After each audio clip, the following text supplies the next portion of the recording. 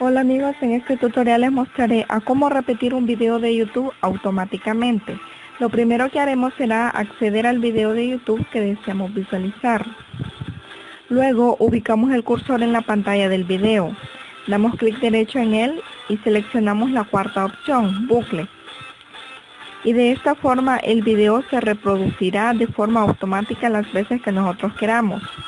Para desactivar el bucle igualmente damos clic derecho y vemos que esta opción está activada porque tiene el símbolo de cheque.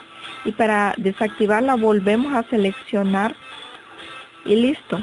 El video no se reproducirá automáticamente.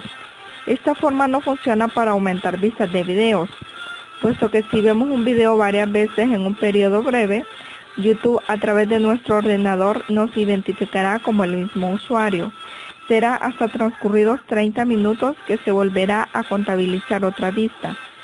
Es todo amigos, si te gustó el video dale like y suscríbete a mi canal.